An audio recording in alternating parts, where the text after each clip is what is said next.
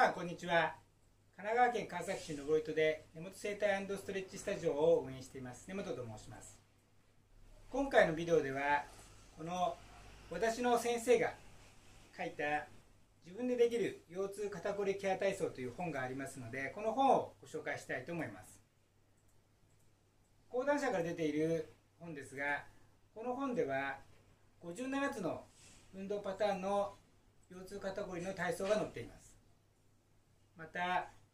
肩の痛み肘の痛み顎の痛みなど症例別に説明が載っておりこの57つの運動というのは腰痛はこのパターン肩こりはこのパターンと一般的にパターン分けされていますが実はあらゆる症状で求めるのは実は全身の調整が必要なのでその症状に合わせて行うというよりも57パターンをくまなく自分で調整するというやり方が、え分かりやすく掲載されています。57パターンというと時間がかかるような思われますが実際にこの本の通りにやっていただくと10分ぐらいでできるようになってきます。この本を写真と同じようにですね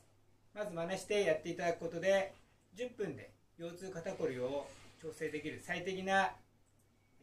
体操ができるようになりますのでぜひ本をご購入いただいて皆さんも1ヶ月まず実践してみてください。1ヶ月続けば3ヶ月続けるのも苦になくなりますのでまずは1ヶ月この本を読んで実践していただければと思います。またこの私のチャンネルを見ていただくとこの本に書いてあるような内容も、